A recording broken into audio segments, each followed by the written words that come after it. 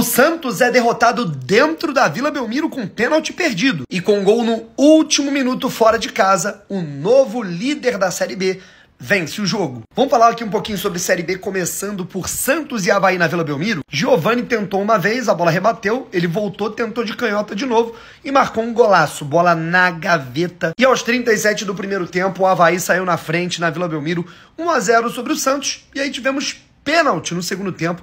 Aos 20 minutos, o atacante número 11, Guilherme, foi para a cobrança, mas César fez a defesa e o jogo terminou desse jeito. Santos 0, Havaí 1. E aí tivemos o outro jogo da rodada. Aos 9 minutos, o Mirassol fez 1 a 0 em cima do Ceará, que empatou o jogo, só que no último minuto Pênalti pro Mirassol, aos 53. Léo Gamalho foi pra bola. O artilheiro que acompanha a gente aqui nas redes sociais, marquem o Léo Gamalho inclusive, marcou o gol que colocou o Mirassol na liderança do Campeonato Brasileiro Série B. Ainda temos mais dois jogos complementares da rodada neste domingo, mas dessa maneira a gente está tendo o G4, com o Mirassol em primeiro lugar com 38 pontos, o Santos com 37, o Novo Horizontino também tem 37 e o América Mineiro logo à frente do Vila Nova. O Mirassol é o novo líder.